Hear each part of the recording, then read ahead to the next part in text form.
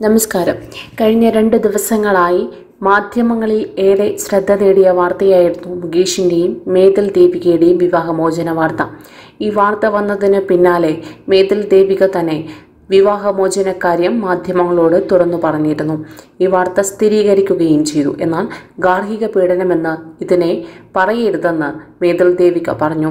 ഞാൻ ബഹുമാനിക്കുന്ന ആളാണ് മുകേഷ് ഏട്ടൻ അദ്ദേഹം വളരെ നല്ല ഒരു മനുഷ്യനാണ്. എന്നാൽ അദ്ദേഹം നല്ലൊരു ഭർത്താവായിരുന്നില്ല. അതുകൊണ്ട് മാത്രമാണ് വിവാഹമോചനം നേടുന്നത്.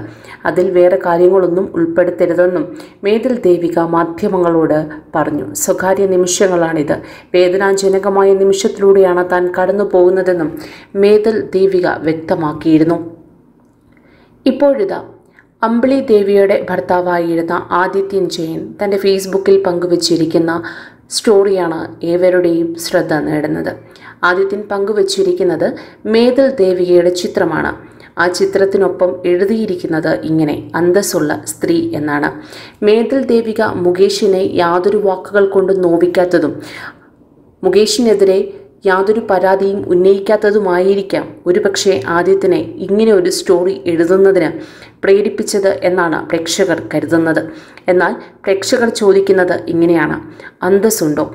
അമ്പിളിദേവി പറഞ്ഞ കാര്യങ്ങൾ ഒന്നും തന്നെ തെറ്റായിരുന്നില്ല. അമ്പിളിദേവി നുണ പറഞ്ഞിട്ടില്ലല്ലോ. പിന്നെ താങ്കൾ എന്തിനാണ് ഇങ്ങനെ ഒരു പോസ്റ്റ് ഇട്ടത്?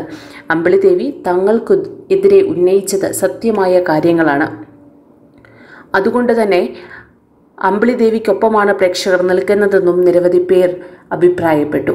ആദ്യത്തിന്റെ ഈ പോസ്റ്റിന് എതിരെ നിരവധി പേരാണ് രംഗത്തെത്തിയിരിക്കുന്നത്. കൂടുതൽ വാർത്തകൾക്കായി ഈ ചാനൽ സബ്സ്ക്രൈബ് ചെയ്യുക.